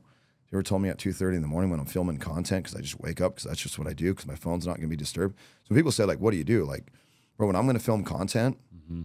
it, I'll do it at like 1.30 or two thirty in the morning, mm-hmm. and the reason is because my phone's not going off Right. and it's better lighting. Yep. I think you know, and I tell people like when I first did videos, it wasn't good lighting or whatever, just to show people it was just a video, dude. It doesn't have to be perfect. The other thing in real estate, I think, in people's life, they, they try to make it too perfect, man. Mm. You're always going to make mistakes. Mm-hmm. You're going to fuck up every day. Yep. Just learn from it. That's Every what I day. tell people, man. It's just that's what I learned from being a dad with my with my daughter and stuff like that. That taught me is that like she just they love you for you. Mm-hmm. Just but you got to be selfish too. I mean, I learned that mistake too. Is that you know when people write out their goals, like personal goals, they're like, oh, I want to take a family on my trips and I want to buy this car and I, you know, I want to do more things with my family. But those aren't personal goals; those are family goals. A personal goal is what you want. Yeah. And it's always, oh, I want to lose 30 pounds. I want to, no, no, no, that's, everybody wants that. But what do you want? Like for me, I wanted to go play golf again and be able to hang out and not have somebody up my ass about doing stuff or whatever, but like enjoy life for me. Cause I, I worked my whole life for, I would say 37 and a half, 38 years for everybody else. And now I'm living my best life. Mm-hmm. And I'm actually making more money than I ever have. You know, cause I stopped obviously making money for somebody else, you know, but also like I'm happy. Mm-hmm. And people don't like that. Do you know how many people are like, oh, he's cocky, whatever it is? No, I'm fucking happy, dude. This is what happiness looks like. Confident enough to be like, fuck you too. Like, Yeah. it's not hard to be happy. And people camouflage our, our, our self through success or whatever it is or our appearance. You know, I could be like, oh my gosh, I'm in a flannel because, but I'm riding my Harley. Like, this is my life. Mm-hmm. Chose to do a podcast during bike week. So I'm coming on my Harley. Like, Yeah. that's just what it was going to be, I love that. you know? Do you think that there's a season of life though, like because I've I've interviewed you're you're probably number sixty or sixty something, and uh, I've had a lot of big names so far, right? And you're obviously uh, you know I I look up to you, um, like I'm 27, right? So like a lot of dudes. I had Brian North. He sat right there. He said, "Dude, I I grinded, grinded, grinded, grinded, grinded, cheated on my wife, screwed the whole thing up." Right? I've had a All lot of there. a lot of dudes have sat there and said that they've worked too hard, they worked too much, they didn't keep the main thing the main Yeah. thing, they didn't right. but is there a season where you have to do that? Like, can you? Yeah. Because like when you're young, right? Like you know, like for me, for right now, I don't have kids. I I, I did just get engaged, but no kids yet. Congrats on that, though. Thank you, thank you. Yeah, and um, and I'm in grind mode right now, and and I battle it right because I talk to guys that are older than me that clearly have more wisdom and knowledge than I have, right? And I'm like, okay, do I do I pivot in three or four or five years, or do I try to start to pivot now? Like, do I do I have balance in a couple years, or do I try to have balance? In the beginning too, because for me, I'm still kind of in the beginning. I mean, Mm-hmm. I've been at it for almost a decade, but I'm still so young. You see what I'm saying? So, like, for Yeah. somebody watching or listening and they're young, like, should they be attempting to balance it all perfectly now, or should they embrace the grind in the beginning, but know that there's got to be a point in time? 80 20 then 20 80 Mm. that's what i always live off so when i when i built it i knew we had to sacrifice for a little bit and we knew we had to you know wasn't going to do it but i knew the end goal so i would say it was about 18 months Mm-hmm.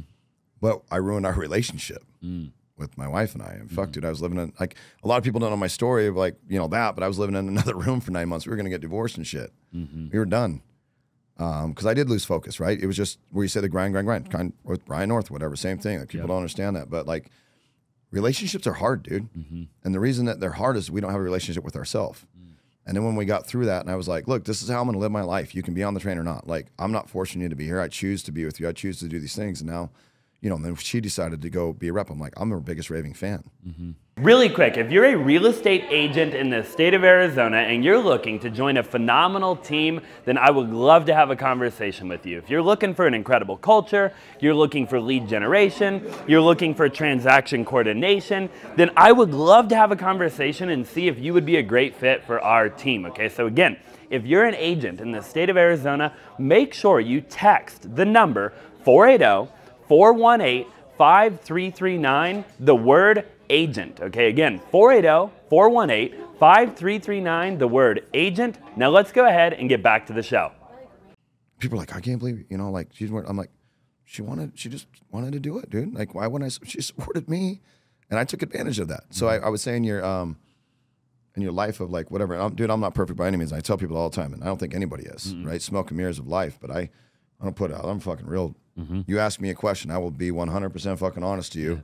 I don't need a, you know, but I don't think people are, and uh, because they don't like themselves, and so I think people deflect. I think people that work, work, work, work, work, don't know what it's like to love yourself. I That's why they fucking work too much. I agree with that. And so then they don't know how to love themselves, so they don't know how to love the people that love them. Mm-hmm. And so they're present in the people that they love, but they're not really present because they don't know how to. Like I always tell people, if you really want to build a business, and I, if I was to ask you, who's your ideal client? Mm-hmm. Who would be your ideal client? In terms of like just in one of my Just companies, anything, yeah. Who's your ideal client? I'd have to put some thought into that. So you know it's real easy. Let me tell you this: when you do your interviews next time, you know who your ideal client is? Yourself. Mm. Because if you can sell yourself on your bullshit, you can sell anybody. Mm-hmm. You can be true to what you believe in, and and once you once you so when I was grinding and I or the grind mode or whatever they say, when I found out I was good is because I really found the passion. I extremely like helping people win, dude. I don't think there's that many people out in the world that want people to win. Like they, people are hating on each other and stuff. Like like like I knew I knew you from because I know Skylar. Skylar's a good Yep. buddy of mine, and then uh, a couple other you know guys that he rolls with are kind of dipshits, but um, but I uh, I you know from a from an outside perspective, you know I've watched you do the ATMs and I've mm-hmm. watched you guys you know do other stuff, and then mm-hmm. get the, you know into real estate or whatever, and then you know where people when you started your stuff like and I didn't know people were like saying oh I'm gonna go do this or do that, and I'm like I didn't really know you. Mm-hmm. And I judged you. I would say that for for whatever it is, and I've been judged my whole life. sure. But then when you really think about it, and you get outside of that personal space of going, "Hey, I really, I was judging you because maybe I was like, well, fuck, dude, maybe this guy, you know, whatever, you know, who, but who cares at the end of the day, right? I would say, who cares at the end of the day? So if I was to tell anybody, and they really want to get real with something, like the reason we judge others because we just don't like them ourselves. Mm-hmm. We agree. deflect from our bullshit, and like, and people are like, oh, you're you're judging. I'm like, no, I'm telling you the truth because I've been there. Like, I know how that shit feels. Like, I want everybody to win. Like, doesn't matter who you are. Like, I've got my buddy. Oh my god, dude. So this guy I meet at Bike Week, I, I, he gets out there. I mean, this guy, uh, he's tatted from head to toe. I mean, we're mustache, got the bike. We're riding down Scottsdale Road. He's got his shirt off. We're all in our baggers, right? So, you know, I'm tatted up too. People were looking at him like rolling their. I mean, Yeah. judging him. And I didn't really know him at the time, and I and I got to know him, and like uh, I just asked him, I said, "What do you do for, what do you do for a living?" He's like, "I'm a barber."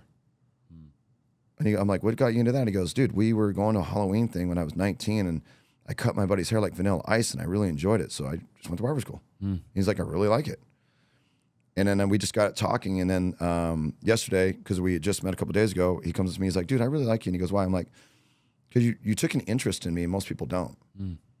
I said, bro, I just asked you common questions. Like people don't do that. Mm-hmm. People don't do that anymore. And and and when they ask a question, they don't remember. Like you repeated everything back in detail of what I told you, mm-hmm. and that's an art. Like if people are in sales, that's if you want to be good at sales, that's it. And for where you say the sacrifice, Pat told me one time because he's followed my trend for for years, and he goes, "You can work now mm-hmm. and enjoy." you can enjoy now, but you'll have to work at some point, or mm-hmm. you can just consistently work. Pick one. Mm. Those are the three levels. Because no matter what, a tree is going to grow up. Sure. So you just determine how fast you want to grow up. Mm. You want to pour a bunch of water on it and get it rolling right now, or you just want to get enough to where it just slowly grows. Mm-hmm. And so I just think it's for me, Um, where I made my mistake is I wasn't very, uh, I didn't communicate well of what my goals were daily, weekly, or monthly. And, um, and I think that's what destroyed our relationship for a while. And, you know, we're, st- we still work through some shit, bro. You Yeah. know, but we got kids and it's just fucking, life is fun, dude. I just tell you. But, but I think if I was to tell anybody that's getting in any business or whatever, and you have a spouse or you're going to get in a relationship, and you know you're going to have to go through some stuff, communicate, over communicate that. Mm-hmm. They'll have a finer appreciation because now that my wife's doing title and stuff and doing that, which I wanted to have a skill set, but she's really been like, my God, I am, was not thankful for everything. Like, did not understand why you're waking up at 1.30 in the morning. She's like, and four o'clock every day and doing the stuff, and all you're doing is just providing. She's like, I, it's just hard enough to get an agent to like, you know, not ask me for free shit. Mm-hmm. You know, that's what every realtor wants, and I think that's a bad habit in real estate. Like, I, I think, in my opinion, MSAs in from title or mortgage or whatever it is in real estate, I think they're fucking stupid, bro. Go buy your own shit and own your own company, mm-hmm. if you want my opinion. Like, because when MSAs were great during the two years, now they're not, and now you're losing money. Well, they don't realize now you you got to you got to pay now too mm-hmm. because it's a partnership. Yep. That's what a lot of people are figuring. out. I want out of this. That's not how it works. Yep. Because when it was good, it was good, right? Mm-hmm. And now we're not there. So now you owe us a fifteen hundred dollar check. You're not getting a fifteen hundred dollar check. People are freaking out because it wasn't. They were so mirrored by the money, like what we have in our industry is like we're so. We're in society. We're so like, oh my gosh, the guy's got the fancy cars or whatever. I'm like, but shit, you don't know what it, how long it took me to get there, and all the cars I got repoed, or the houses I had foreclosed on, or People how never that broke. I was, and Yeah. you know, it's not. I just bought it because it was my dream car. And I told you I'm like I'm going to sell it and get rid of it because buy some other shit so me and my son could go up in the mountains. Mm-hmm. I don't need to drive it anymore. I love that. Yeah, phenomenal. I, I love that. I'm a big car guy too. I it has nothing to do with the price tag of the car. I just love cars, right? Um, Say you had one. yeah, bro. I love everything you said about relationships and and and people overworking because they don't love themselves. Just everything you said, I think, is just phenomenal, and I think people get a lot of value from that. Um, I want to pivot and, and talk. I know your time's super valuable, and you have Bike Week, but I want to talk just really quick about the real estate market. Yeah. And uh, I love asking people, bro, especially people who are in real estate. Everybody, I, I always I always preface like, hey, nobody's got a crystal ball, right? Right. But what do you think? You know, in your opinion, what what do you think the next year, two years, five years, what do they look like?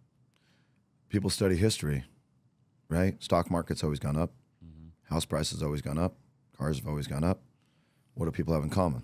They always buy stuff. People have to have a place to live. Um, I think our industry is oversaturated with people that don't have value um, and a skill set because they're just taught to just be more transactional. I think we need to get back to the basics. I think if a brokerage or a team or what you ask that or whatever, I think they need to focus more on the relationship driven and like every if I was running a team, every fucking day they'd be doing handwritten cards. Mm-hmm. Every day or send out cards. And they'd be building a relationship and DMing people just be like, Hey, have a great day or oh my gosh, that's so great or so to just just get back. Those are the basics that I think were lost in the industry. And I think the reason why people aren't surviving in the industry, whether it's two years from now or three years from now or five years from now, if you don't build a business that's a relationship business, you will not survive. Mm. Because in any market, short sell, REO, foreclosure, whatever it is, people are still buying and selling homes. Mm-hmm. You just have to determine why they're not buying them from you. Like I had somebody I did a training for, a team, mm-hmm. and they um, they talked about their cold calling, and they're like, "Oh yeah, about every hundred calls we get like one deal or like a good prospect of lead." I said, "Okay," and I'm like, "So how long does that take you?" And we they're like, "Well, I don't know, we don't time it." I'm like, "You need to fucking time your phone calls. How long it takes you to make hundred contacts, right?" And I slowed down. and I said, "Hey, think about this in, in our market of where it is. You had hundred people, right?" I go, "What'd you do with the other 99?" Oh, we put them in like whatever. I'm like, "Have you ever gotten a phone call where you couldn't take it at the time, or maybe you had a death in the family, or maybe you were just going through some shit, and the last thing you want to talk about is buying and selling a fucking house?" Mm-hmm. Because these leads, most people that go on a team when they're leads and they come on that's been there, they're old leads, right? And uh, I said, so, I mean, the real estate market's just, you got to understand how people like, would you want somebody calling you all day? Mm-hmm. Would you want some people sending you like stupid ass emails and stupid texts? Then why are you doing that in your Yeah. business? So if you say, what do you think the real estate market's going to do? I think the people that still do that are going to be the ones that are still struggling. Mm-hmm. And the people that pivot the other direction, like I, I coach on, are going to be Killing the game. thriving, bro. Yeah, for sure. Because those are people like ninety percent of realtors, you know, their their follow up shitty. They only ten percent they kind of do it okay. Yep. But like, I mean, it's just you should be able to close somebody. If you have to sell someone on the phone, that means you don't have content out there that's showing them who you are. Mm-hmm. I mean, that's what just simplify it. Like if I was to tell somebody like, where's the market going in three to four years? If you don't have basically a, a training system for your buyers and sellers, where it's eight o'clock at night and they got a question and they got to wait till the next morning. Now they have anxiety the entire night, and then in the morning you don't wake up on time because you went to too many happy hours and you don't get back to them until 9, 30, 10. Mm-hmm. What'd you just create? No value. Yep. So you really need to build systems and, and clear. I would say if people are going to survive in three to five years, what the real estate market's going to do, we need to be better at setting clear expectations and clear boundaries with our clients. Because we don't set boundaries. Like, I remember when I was a and I did the title set, people were like, oh, my person does this open house. I'm like, great. Work with them because I'm not bringing you fucking cookies and water, but I'll teach you how to do an open house properly. Ask them if they know how to do this, and they're like, well, they don't. I'm like, and I've had clients once I quit and opened up my coaching, they were like, "Oh God, I wish I would have been to your stuff." Because when I did my boot camps, you had to send me all your business, or you could not come. Mm-hmm. And I brought 400 realtors in one year to that company, and then you know they bitched at me, and and when I left, all those onesie twosies, guess what? Mm-hmm. Left too. Mm-hmm. And so it's just like, I don't know, you just got to have your value proposition and where it is. I mean, if people say like rates have gone, rates go up and go down. I think they had a statistic like 1981, it was like 13 percent. My grandparents. Uh, 1983 was like three. I was at my grandparents' house the other day, and uh, he's like, "Austin, when we bought a house, we were at, we got 19 percent interest rate. Right. You know, they still own that house to this day. Right. But I, I think we have too many people trying to keep up with the Joneses in today's society too. Mm-hmm. Like I could buy a bigger, nicer house. Yeah. I like my house. The kids works great for me. What do I need a bigger house for? My wife's always like, "Let's go get a big house. Let's go do this." I'm like, "Why? Yeah, What's wrong with our house? We sleep. We got a kitchen. We can hang out in the backyard, park our cars. Nice. Kids grew up here. They're born in this house. Like mm-hmm. maybe down the road we get a different. You know, my parents want to, us to buy a, a, a bigger lot so they can have like a their retirement house on there so they can just travel. yeah, That's what they want us to do, and we just have a wall in between. Because Mike, I mean, we get along great. I, if I was to do something, that's what I would do. Other than that, I don't really need a house, you know. yep, But um, yeah, I think it's just. Uh, I mean, look look at this. It's like when the business was the best it was, people were paying 40, 50,000 bucks. Okay, but now those prices have come down, and now you're getting seller concessions again. Yep. But they don't know how to like explain that to a client because what you posted for so many years is, oh, I got this house. So the people that were like, oh, I got my client fifty thousand dollars more. So now what are you telling all your buyers? mm-hmm. And when you know what really, okay, so you know what truthfully messes up a market Hmm. is when realtors are out there telling them it's a seller's market mm. or you tell them it's a buyer's market. Let me ask you this because you're a realtor. Mm-hmm. Don't you need, if you're going to sell a house, don't you need somebody that's going to buy the house? Mhm. Okay, so you need a buyer. Yep. And if you're a buyer, you need somebody that's selling your house, right? So you need both parties. Yep. Why do realtors in our industry will always be like, oh, it's a seller's market. Oh, it's this market. Oh, it's this.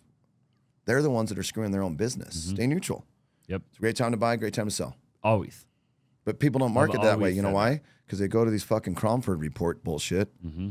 which I think is, dude, whatever. People buy and sell. Oh my God, they're going to predict this. Yep. Yeah, well, you know, you know who predicts what their income's going to be? Mm-hmm. You on how hard you work and the shit you put into it. Not the market, not the statistics, because rates go up and down. Yep. House prices go up and down. I have a full course. I don't know, but people still need a place to live.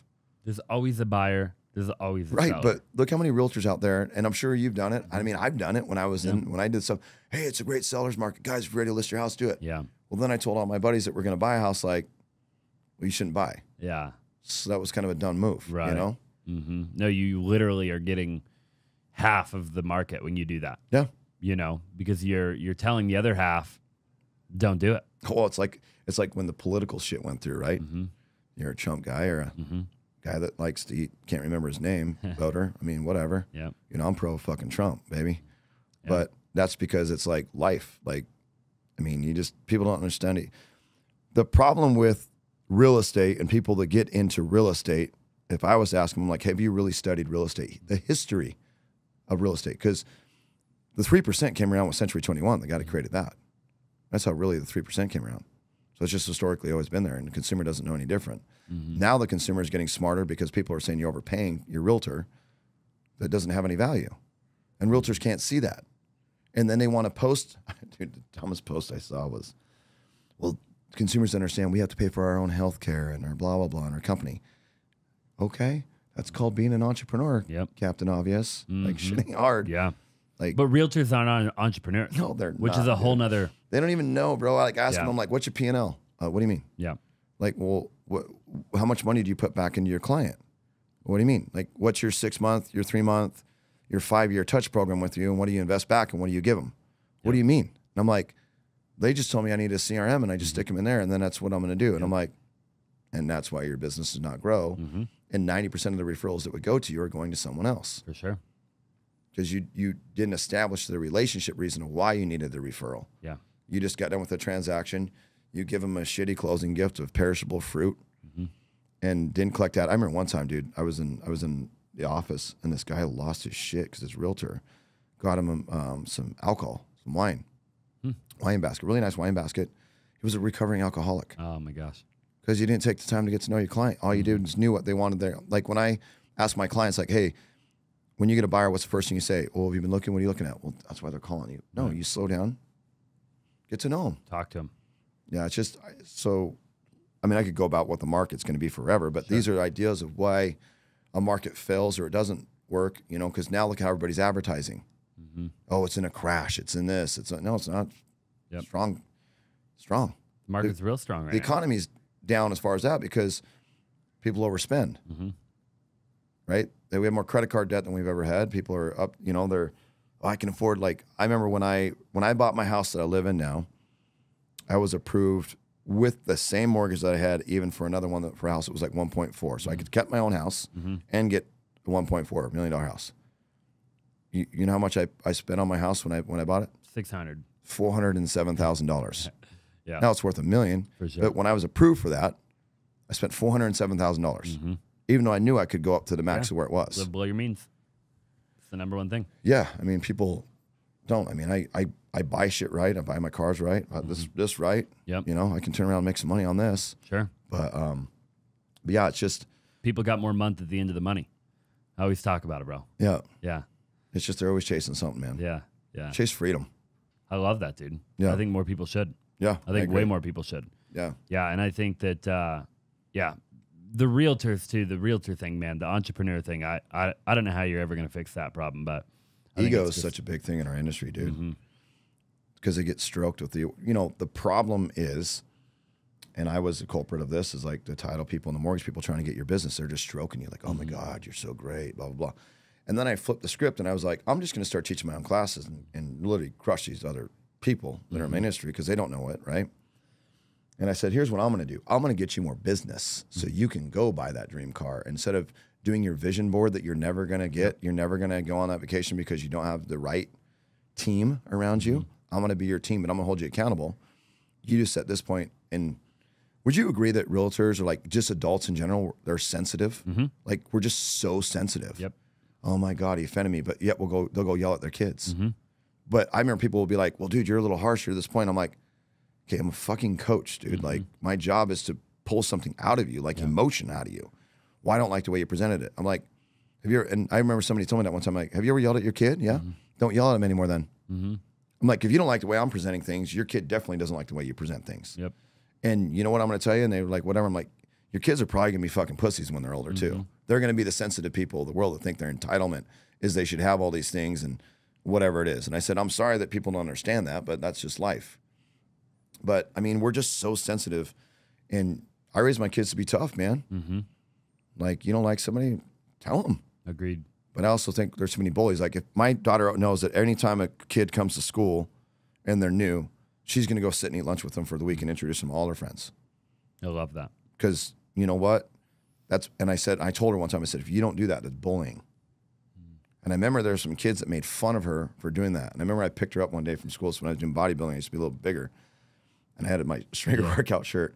And my daughter goes, she goes, Dad, those were the boys that made fun of me, right? And I'm and I look at them and I'm like, your your parents must be really proud, huh? You pick on a girl like you as a boy makes it feel good. I said, I said, your dad pick you up from school. He goes, yeah. I'm like, I want I want you to know, I want you to point me out when your dad sees it, so he and I can have a conversation Right. about what the fuck's wrong with you. And I just said it, and all these people around, like teachers, I'm like, dude, we're teaching our kids wrong. Mm-hmm. Like society's weird right now. Yeah. Weird. Real weird. Yeah, Like- and that's a whole nother podcast. Yeah, but I That's a mean, but that's what makes our real estate community weird. Mm-hmm. Because now we're dividing people. Would you, you know, I mean, Yeah, some I do. people don't want to work with somebody because they don't like my political stance or my my opinions on like if you like the same sex. My brother's gay. I don't give a shit less, bro. Mm-hmm. I could care less as long as you're happy. You do you, boo. Mm-hmm. But when you try to entertain that because my hair is a certain way, or I've got tattoos, or I carry myself a different way, or, or whatever it is, the real estate community is dividing itself just on that alone. Would you agree? You Mm-hmm. I can would. see it, right? Totally. Like they'd work long. with you for somebody. Yep. I want to work with a man versus well, why don't you just work with somebody who's got value? Yeah. And I thought it was interesting. They did a study on a on a court case, and they had where they this person this chick had the charge, but they took it that it was like a, a, a, a colored person with there was like 350 tattoos, and I just had an image of him, Uh-huh. and they fucking nailed him. And so that's what the chicks. But it was just a test to be like, look, Yeah. we're so stereotypes, but that's how real estate shifts too. For sure. Stereotypes of the world, and I think we just need to stop doing that. Just stay neutral We do. and be positive. Mm-hmm.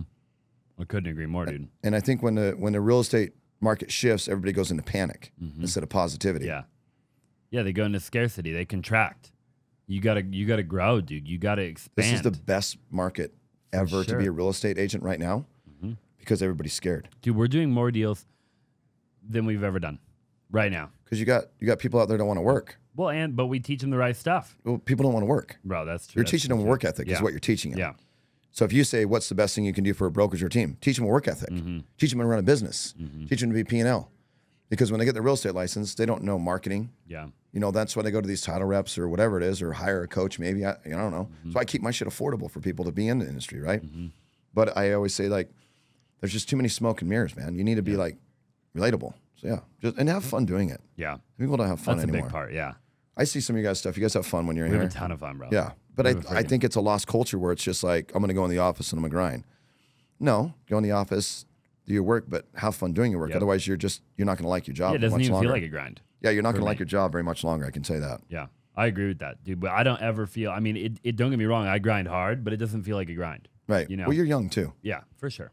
Yeah. Get my age when you you know your body hurts. You got to have a cold plunge in your garage so you can yeah. just get down and get your body right. I do the cold plunge. I got a cold plunge on the rooftop of the Optima. I bought one of those uh, XLs and put it in my garage. Dude, those things are bad got it set at 52 Yeah. Mm-hmm. degrees, sitting at five minutes, four times a week. That's the. Uh, it's called the plunge, right? Like Yeah. Mm-hmm. the brand. Yeah. Got a circulating water and Those everything. cool.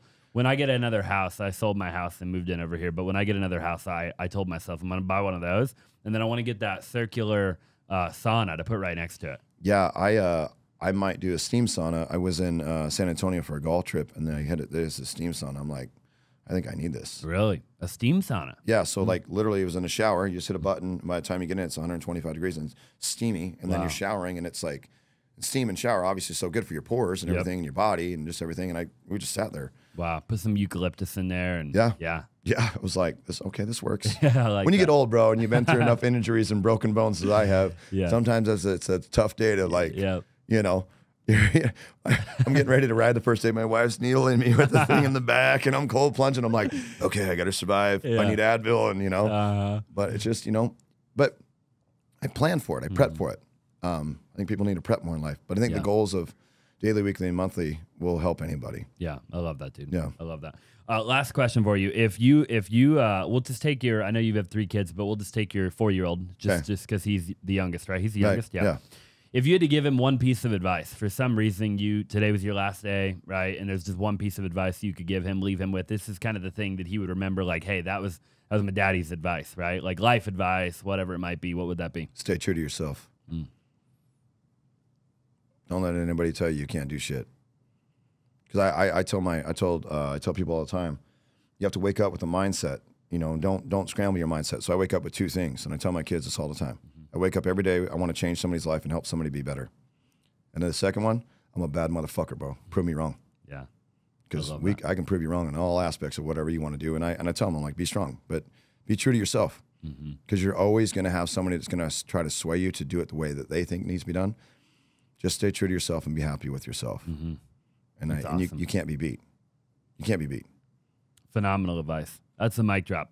I love it, bro. Yeah. Where can people find you? Where can they, if they want to get coached by you, they want to get mentorship, they want to reach out to you, where can they get a hold of you? I mean, you can find me on, and you can Google me. You find me on my, you know, my website's got You got a good. Google, like yeah, you're talking Google about yeah. earlier. Yeah, well, I didn't You before. I didn't before. You know, I mean, it. it uh, I, I didn't. You know, Yeah. and then you know the social. Obviously, my handles are all the same. Jon Storey, not hard.